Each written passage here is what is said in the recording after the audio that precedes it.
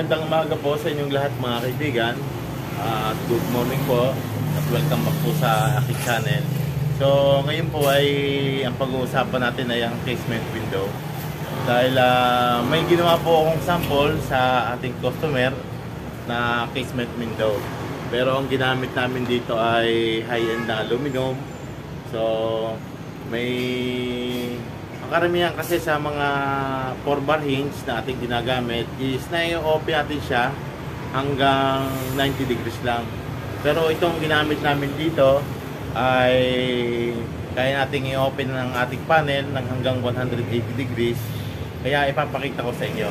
Kaya bago ang lahat, kung di ba po kayo nakasubscribe sa channel ko, huwag niyong kalimutang mag-subscribe at i-hit nyo na rin ang notification bell para updated kayo sa mga videos na i-upload ko. So, hindi ko na po patatagalin at pahabain at ipapakita ko yung sample na ginawa namin. So, ito yung uh, 4 bar rings na ibinigay sa akin ng isa kong kaibigang nagse-sales. So, pinatesting niya sa akin to para daw masubukong magamit itong 4 bar rings nila. So, maliit, maliit lang siya pero maganda naman. So kung makikita nyo, naka 90 degrees yan at mai expand pa natin para open-open yung ating magiging panel. So ito siya mga kaibigan. Naka 90 degrees siya at mai expand pa natin para open ang ating panel ng casement. So tingnan natin sa ating uh, ipapakita ko sa inyo yung aming ginawang casement window. So, ito mga kaibigan, ang inassemble namin casement window. So, humihingi itong ating customer kung 3 panels itong ating gagawing casement window. So, ito may tatlong panel tayo rito.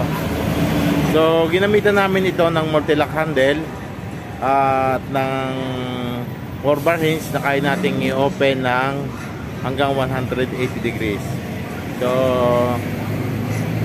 i-open ko ngayon to at ipapakita ko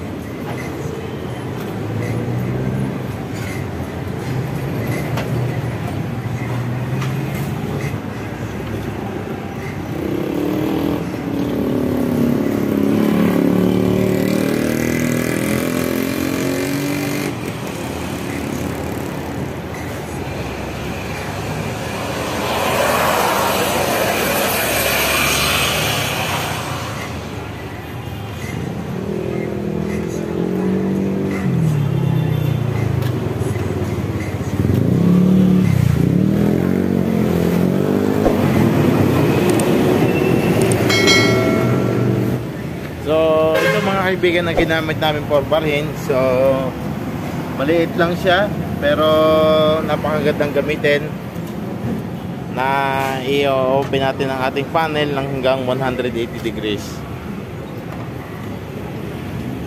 Malambot pa siyang gamitin. Malambot pa siyang i-open.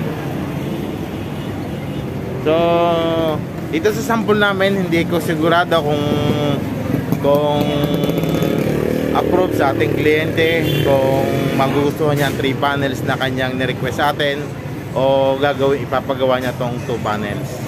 So nilagyan namin ito ng framing na open back sa sa ating jump at hindi ko lang kung balak niyang palagyan ito ng round tube at susuotan ng bakal para magkaroon ng security para hindi mapasok itong kanyang window ito yung ating casement window na isasample ko sa aming customer.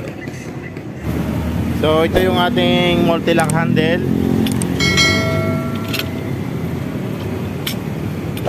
nag style lang tong ating transmission at maglalak siya dito sa dito siya sumasabit. So, set naman yan pag binibili umi-slide lang siya.